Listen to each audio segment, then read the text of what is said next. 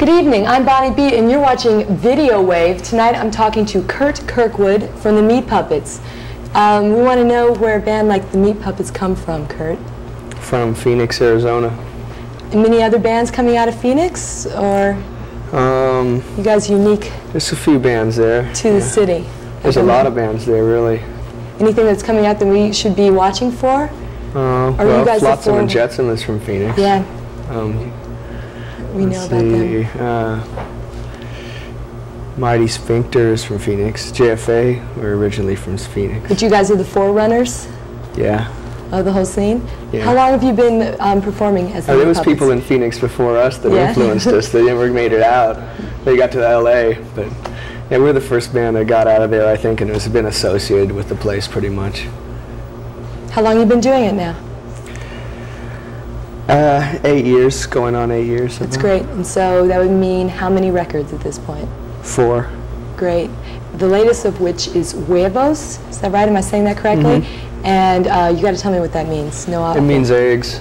means eggs in Spanish. Can you tell me why? I guess we should listen to the song. Uh, well, it's a, it has a couple meanings. Uh, huevos is an expression, you know, used to to say it's kind of like chutzpah or something like that. You know, it's a it's a, southwestern expression, not unlike chutzpah or verve, and. Uh, it has to do with we recorded the album, you know, all in first takes, Uh-huh. and uh, all the vocals and everything, and then mixed it down. You know, it like took us like 40 hours, and uh, you know, and then, and then they, it fit together good because eggs can only be you know used once. That's And great. So it was, it's kind of like that. That's great. Did you record the record in Arizona? Mm-hmm. Are there recording studios out there? Yeah. I like to, I have a fascination, I keep referring back to Phoenix, but um, tell me a little bit what it's like living out there. And I imagine you guys playing shows outside under the stars. I mean, did you have, did you ever have parties, big parties outdoors in the desert? I mean, Yeah. people in New York have a hard time imagining the cactus and the, uh, and the sand out there all the time. I mean, is it like that outside? Do you uh, have parties outside? And Yeah, but once you finished with that, one of those kind of parties, it doesn't matter if you're in the city or in the Yeah, in the desert. I don't think you know where much you are. true. You know, that's the the party thing. It's we, we go to the desert just so we wouldn't be observed by adults. just to not not so much to get away from. You know, I love I, I always loved the desert though. I got to appreciate it a lot more as I got older too. Mm-hmm. You know, it's a great place. So you've been out touring though, so you've had a chance to see other parts of the country, and you still feel you're in the right place? Yeah, Really? Going on- definitely. going on and out there? yeah, I love it there. You've played all over uh, the country. Are you concentrating primarily on college towns? No, uh-uh. Not no, necessarily? we we've always just done whatever we could get. Uh-huh. Most recently, you played in the South? Uh, most recently, we played. Yeah, we did a Midwest tour, and then we came up to do the East East Coast tour through the South again, sort of, starting in Alabama. That's great. Yeah. People responding to this new record, do they know about it out there, and can we find it in the record stores pretty much? Mm, yeah. It's yeah. on SST, so be watching for that one. Yeah. I want to take a look at uh, one of your videos now. Can you tell us uh, which one we might like to see? Uh, well, I guess it might be New Gods. Okay. Or, how about this? I'll start do another one. I guess it might be Get On Down. You want to watch Get I'm- On Down? I'm not sure which one you, you, you oh, get. well, you can anyone you want us to play, okay. Uh, and tell tell me about it. Well, Get On Down is probably the one you know play. So, Get On Down we made with a guy from Manhattan here. He's or he was living in Manhattan at the time, right across the street from CBGB actually. And he, um, you know, we filmed it in our backyard and around our house and stuff, pretty much. It was based on a stupid dance that we made up. So, Let's take a look at Get On Down from the Meat Puppets.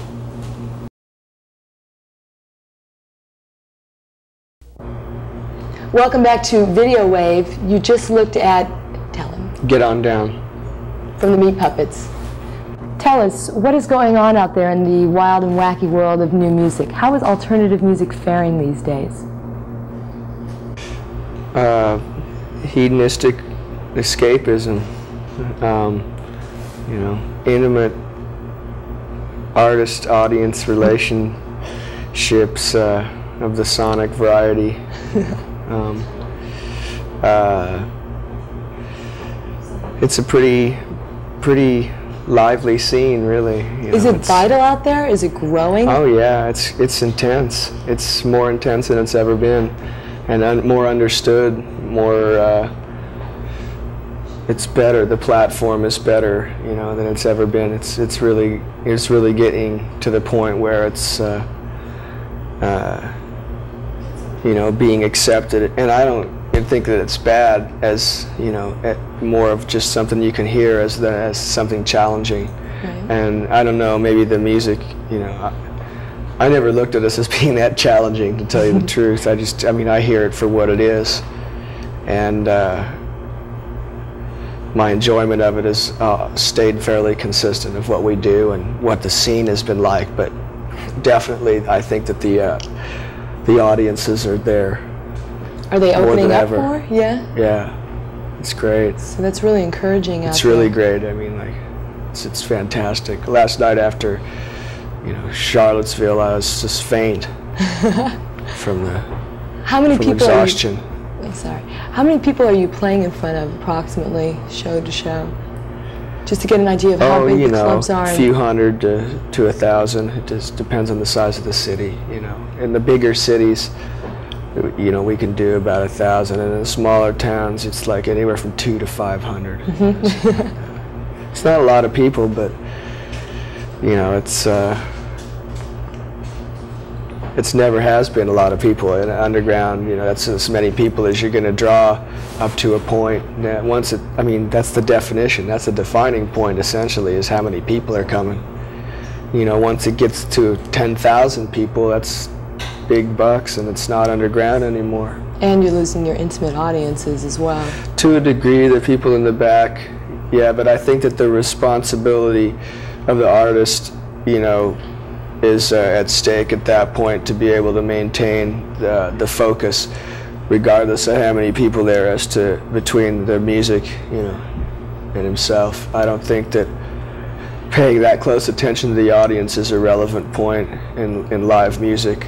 They give you the feedback after you've paid attention to the music.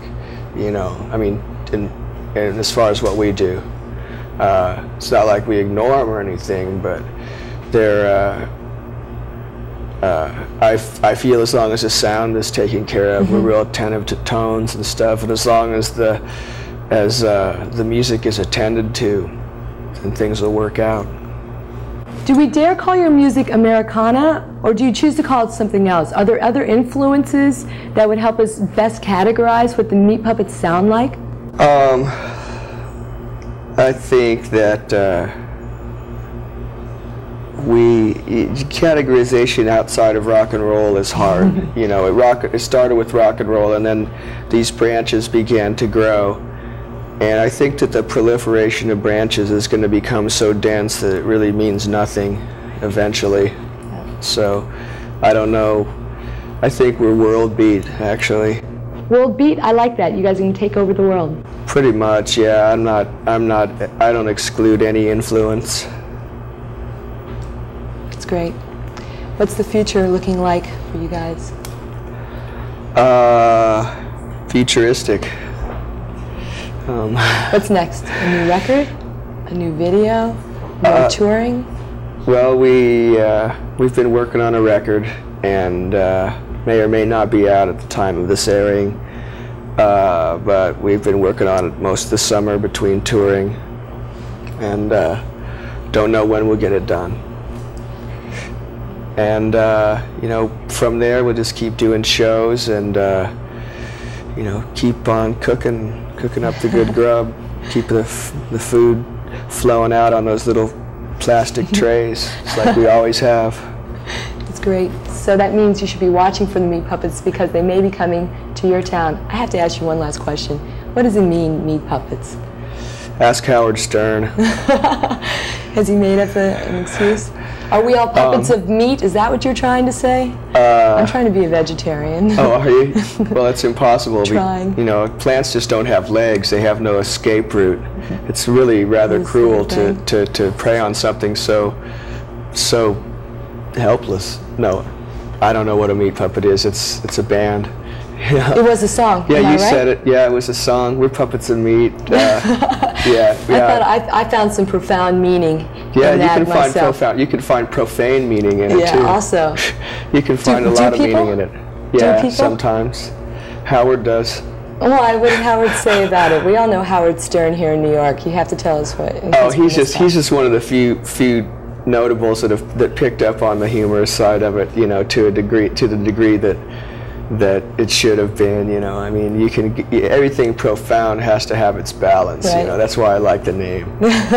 you know, I think it's real easy to figure it out. Anything that you say that's profane, you're not talking about the plague. You know. Does it scare people though? No, I don't think so. People are, are, are adult by the time they're two anymore.